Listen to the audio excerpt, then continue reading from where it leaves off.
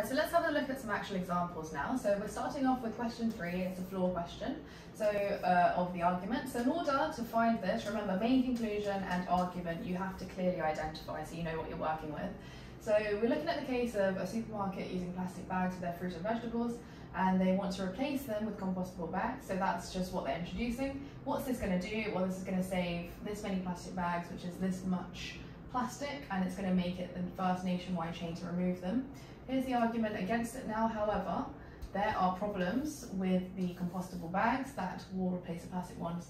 This plan to replace plastic bags should be opposed, so the main conclusion is that. So let's just summarise what we're looking at here. We've got plastic bags versus compostable. We're basically saying um, compostable bags will, uh, there are problems with it, therefore we should oppose it. Um, I hope that this is clear to you that this is that argument that we had before. If they haven't considered both sides, basically, you can't, by arguing that there's a problem with A, say that B is therefore the answer. So it hasn't balanced it enough. We have to look at, is there an argument, we, the flaw would be that the argument has not considered which one would be worse, basically. So A, it does not establish that saving 500 tons of plastic a year will not be beneficial. Um, that doesn't, again, that's not really, um, uh, that's not really the point because we want them to more balance plastic bags and compostable and overall which one is going to give the net benefit as opposed to of course they have mentioned this but you know they haven't this isn't arguing the other side then this is still on the topic of compostable bags. Um, considers only one alternative the plastic bags that doesn't really matter because we are arguing one versus another right now. Um, compostable bags can be used for the same range this is more of an assumption point or maybe, uh, yeah, basically. I mean, you can tell that in the language right here, it assumes. Um, it fails to show that the problems associated with compostable bags would not be, would be as severe as those associated with plastic. So yeah, this is the one that we want. Um, it's looking at, um, we have, they haven't considered are the problems with compostable as much of an issue because they have to look at both sides of the argument basically. So this one's quite a nice and simple one probably this wouldn't have tripped up a lot of you anyway. Okay, so we've got a weakens the argument question here. So in order to do this one, again, we need main conclusion, we need argument, and you want to kind of see an exemplification of whatever the flaw would be. So let's have a look. So the mobile phone was said to be the ultimate liberating device rather than being forced to stay not just inside a house, not just in a particular room, da da da, you can go anywhere to talk to someone. The irony is that mobile phones have made us a lot less mobile, not only are we more sedentary than ever before? But evidence suggests we now spend longer indoors than we did before mobile phones became prevalent. We should rename our beloved devices immobile phones. Why would we feel the need to go anywhere after all if we can obtain all the information we need and communicate with anyone we want from the comfort of our homes? So this is really the kind of conclusion, I guess. We should rename our uh, beloved devices immobile phones, the argument being, I mean, you can see the flaw here quite clearly, I hope, we're seeing that there is a trend in mobile phone users going up. At the same time, we're becoming more sedentary.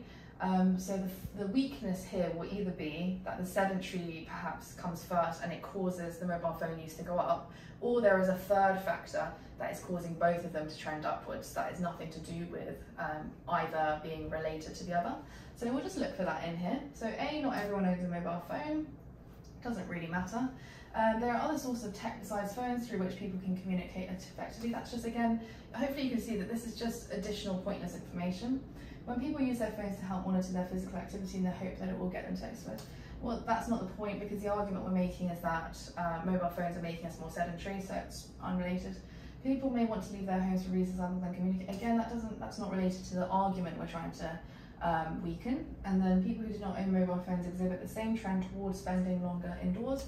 So this is, if this were identify the flaw question, it would have said something along the lines of, um, there may be another reason explaining both trends. Now that it's a weakness, we want to uh, have an actual something related to this extract here. And so if you have um, people who don't own phones exhibiting the same trend towards spending longer inside, then we know there is a third factor C that is causing both um, the sedentary lifestyle and the mobile phone use, or maybe completely unrelated, and we're saying there's another factor that is responsible for making us sedentary, and then separate reasons while we're using mobile phones. So they just happen to be happening together, which is uh, most likely the case. So now another flaw question here. Um, again, main conclusion, argument, and then identify what the flaw could be. So intensive farming, which is going to give greatest food yield per hectare, is widely believed to create higher levels of pollution and damage uh, than organic farming. So again, we're looking at two um, things here, comparing them, guessing which one's better maybe. But the reality is the opposite is the case. So in this case, we're saying, I'm guessing organic farming is worse than the intensive, um, measured by externalities, environmental costs such as greenhouse gas emission, fertilizer, water use, etc. on both high yield and low yield farms. In its study of dairy farming in Switzerland, it found that high yield systems were actually less damaging to the environment than organic, which by contrast took up twice as much land with the same volume of milk. Okay, so hopefully you can recognize this as being, you cannot just use one example to explain an answer, it, because this is the bulk of the argument, right? So if you look before, none of this is argument, it's just introducing a topic and then it's giving the main conclusion, right? Um, and then the argument, as I said, if you've looked at some of my main conclusion videos, you'll know, this is now the argument, right? But the argument is entirely based on this study. So it's fine if the argument comes out first and then Switzerland comes out to support it, or it's fine if it talks about multiple different places and the place itself doesn't matter for the argument. But in this case, it is completely reliant on Switzerland. So looking through, it's this one. Okay, so it you need to identify where the argument's coming from and then see if it's appropriate in that particular case. Let's do the same thing again. So the dark tendencies humans may have, such as psychopathy, uh, psychopathy, psychopathy, narcissism, egoism, da, da, da, are underlying source uh, based on the same underlying source, maximizing one individual interest and to disregard or malevolently cause harm to others' interests. Okay, so all of this is so far STEM. These tendencies often underlie the most serious violent crime in any society, usually dealt with by imprisonment. Um, again, all of this is STEM. Now we're going to get into the argument and perhaps the conclusion. So psychiatrists say that people with these characteristics are notoriously difficult to change. This suggests that these personality traits, so this suggests, tells us this is the argument now, um, are likely to be inherited genetic dis uh, dispositions over which people have no control. It is wrong, okay, here's our conclusion, therefore, to punish people for the actions that have resulted from such tendencies. The justice system should not imprison someone for actions over which they had no control. So we're basically saying the argument is being that um, psychopathy and everything is genetic, people don't have a control over it, um, therefore we shouldn't punish people for that, and therefore the main conclusion being the justice system should not imprison someone. Um, you can see that there's a clear, you can look at this in two ways. Number one, you can look at it as um, the point I made where it doesn't quite match. So the punishing people has to, after this sentence, there has to be another sentence that says, all prison sentences punish people, or something like that. Uh, so you can look at it as having not having jumped from A, B to D, or you could look at it as having uh, something where imprisoning someone is not the same as punishing someone, and you can say that the two have been used interchangeably when they shouldn't have been. So either one will be fine. So we'll just look at the options to see which it would be. So it fails to show the research on which, okay, so this is one of those things where this is rarely the answer, again, unless argument is based entirely upon what the psychiatrist says, so be careful about that one. Um, ignores differences in punishments between countries, doesn't matter. Uh, implies that imprisonment is the only option, um, doesn't matter. Uh, it suggests that ways of altering uh, serious antisocial behaviour can never be found. Again, that doesn't matter. We're trying to argue about the wrongness of a certain thing. We're trying to argue about the wrongness of um, prison, uh, of uh, something imprisoning people, something people for something they had no control over. Assumes that the only objective of imprisonment is punishment. That would be the one because um, this is explaining that we're equating imprisonment and punishment together when this is obviously not going to be the case. There's a lot of, well, the purpose of imprisonment, I suppose, is more rehabilitation, but uh, how successful that is is neither here nor there. The point of it is that you can't jump from one to the other. This would only make sense if there were a sentence in between that said the purpose of imprisonment is punishment or something along those lines.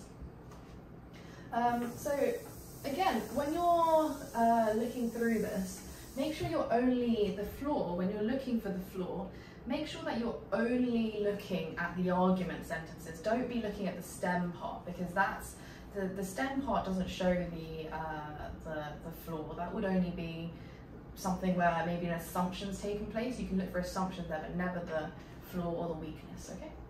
So most weakens.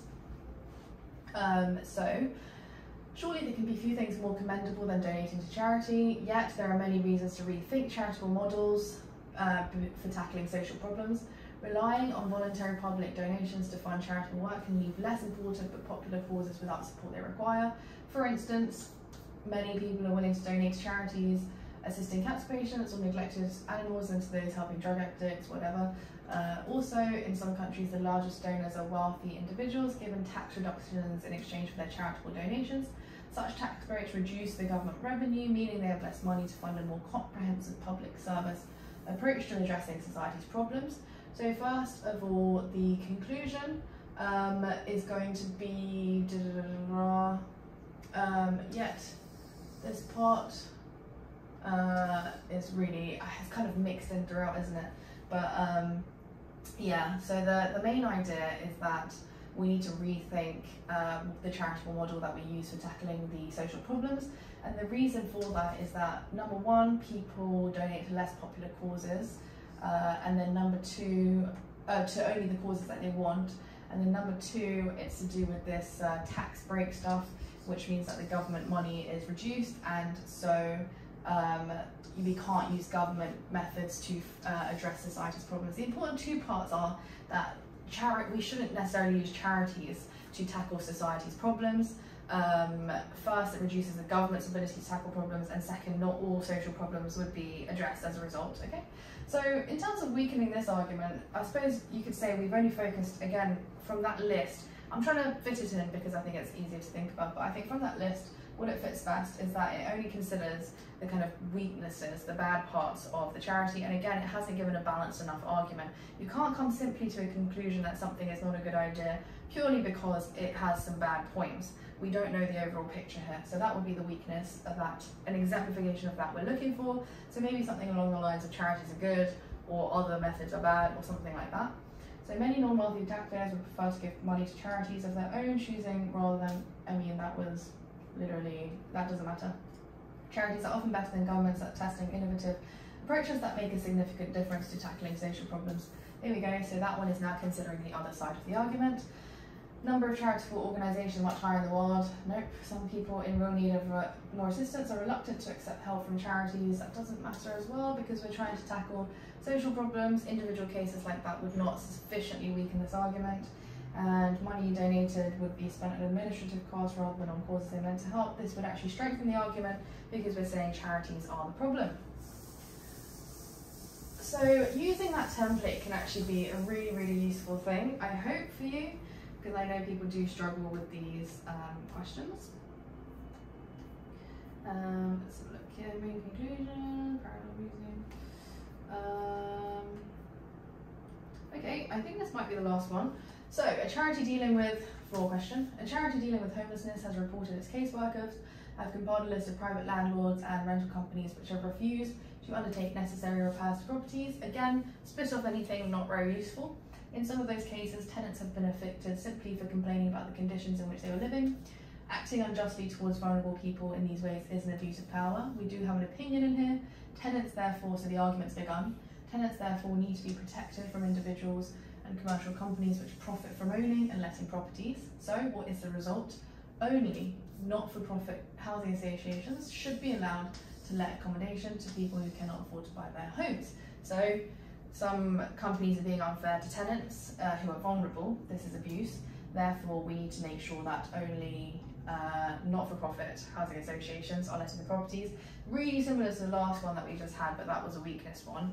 But they really haven't considered that there, first of all, could be um, good things about the private companies or that there could be bad things about other options. So again, we've drawn a conclusion based on that we think um, uh, ne necessary because we've got these bad elements that all of it will be bad and that definitely the other solution will be better. It's just too much of a jump.